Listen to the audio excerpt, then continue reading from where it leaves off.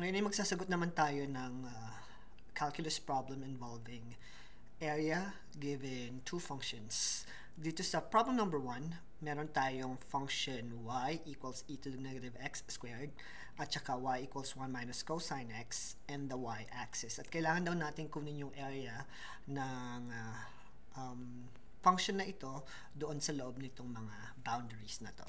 So since ang function natin ay uh, hindi simpleng polynomial function, kakailanganin natin gumamit ng uh, calculator sa pagkuha ng area between the curves. So gagamitin natin itong TI-84 para dito sa calculus problem na ito. So yung una natin gagawin is to plug in yung uh, function 1 and function 2. So in this case, y is e to the negative x. Second, e to the negative x squared. So yan yung function 1. Yung function 2 or equation 2 is 1 minus cosine x. Now, kapag nag-graph natin siya, makikita natin yung uh, boundaries ng dalawang function. So, since med medyo maliit yung graph natin, i-zoom in na lang natin siya kasi um, kukunin lang natin graph is yung graph in between the two function, yung red graph and blue graph, at saka yung y-axis. So, zoom 3 or 2. At mas makikita natin ngayon yung itsura ng ating function. So yung naunang graph, yung blue graph, yung y equals e to the negative x squared. At yung nasa baba naman yung y minus 2 cosine x. So kung ita-translate natin siya sa ating illustration,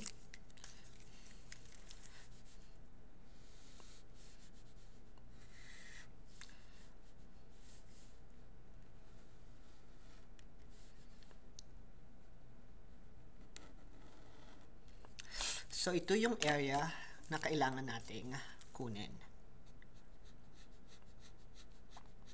So, sa pagkuha ng area na ito, kukunin, lang natin yung integration between the top and the bottom function from 0 up until the value of x dito sa point na ito. So, kailangan natin makuha yung boundary ng ating integral kasi sa pagkuha ng area between curves, kailangan natin yung area niya is between A and B ng top function minus bottom function and in this case since yung area natin is ang boundary is from 0 to 1 along the x-axis, dx yung gagamitin natin. So, yung top function natin alam natin na yung blue function to check it, so trace, yung blue function natin nasa taas, ito yung ating y equals e to the negative x squared. At yung bottom, itong function na ito, ito naman yung 1 minus cosine x. At kailangan natin makuha yung boundary niya. So, using our calculator, so second function, trace, go to intersect para makuha natin yung intersection nito. At intersection niya ay 0.9419. So, rounding it up, yung value niya will be 0.9419. 9, 4, 2. So, yan yung mga kailangan natin para makuha natin yung area nitong curve na ito. So, sa area, kukunin lang natin yung integral from 0 up until 0.942 ng top function which is e to the negative x squared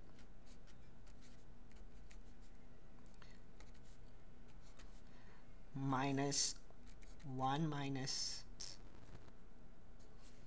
cosine x dx. So, using our calculator, so alam natin yung function y sub 1 is yung nasa taas at yung nasa baba is yung 1 minus cosine x.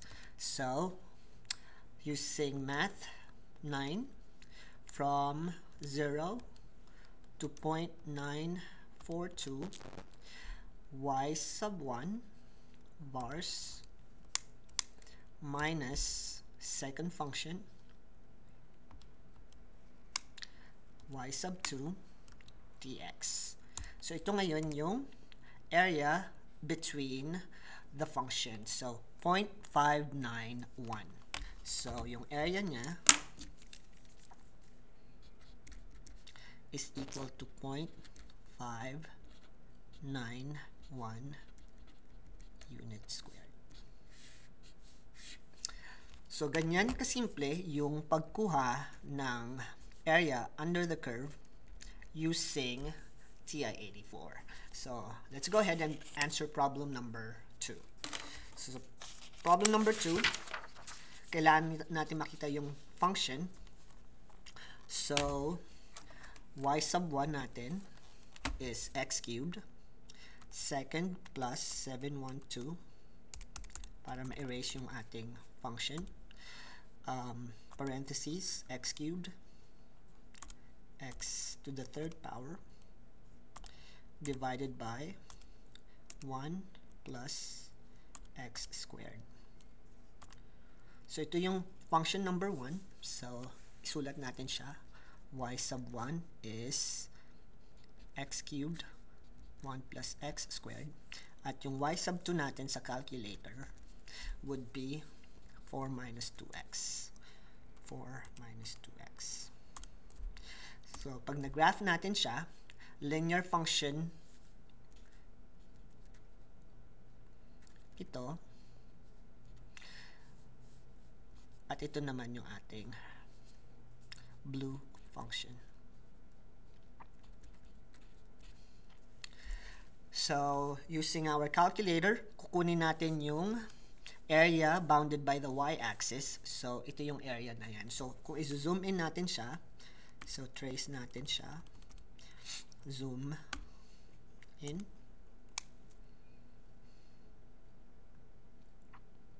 yan yung y sub 1, at yun naman yung y sub 2.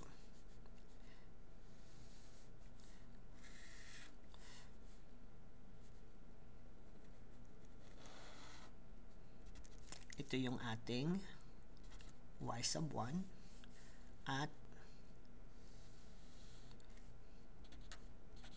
ito yung ating y sub 2.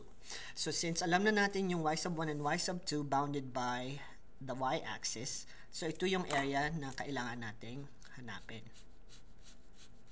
So from 0 up until the value of x dito, yun yung ating uh, limit of integration from top to bottom. So to set up our integration, yung integral niya would be a, b ng top minus bottom dx. So, yung lower limit is 0. Kailangan natin yung upper limit. So, to find the upper limit, second function trace, go to intersect. So, kukumputin natin yung intersection ng red and blue graph. At yun ay 1.4876. So, let's write it as 1.488. So, ito yung ating upper limit. So, alam na natin yung upper and lower limit, yung ating y sub 1 and y sub 2, top minus bottom. So, pwede natin siyang isulat as y sub 1 minus y sub 2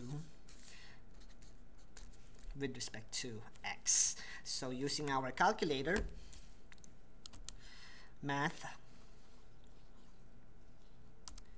9, 0, 1.488 vars. Y vars is y sub 1 kasi yun yung top function natin.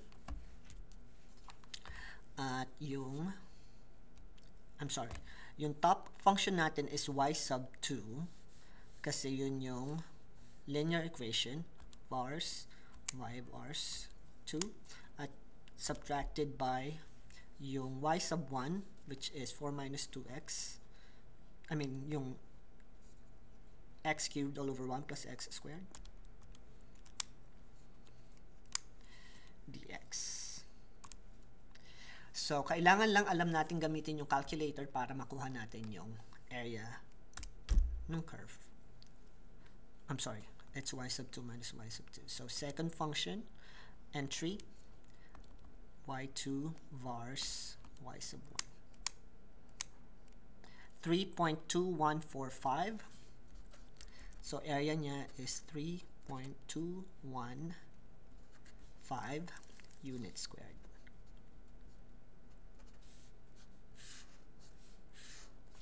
So, yan yung paggamit ng uh, calculator sa pagkuha ng area between curves.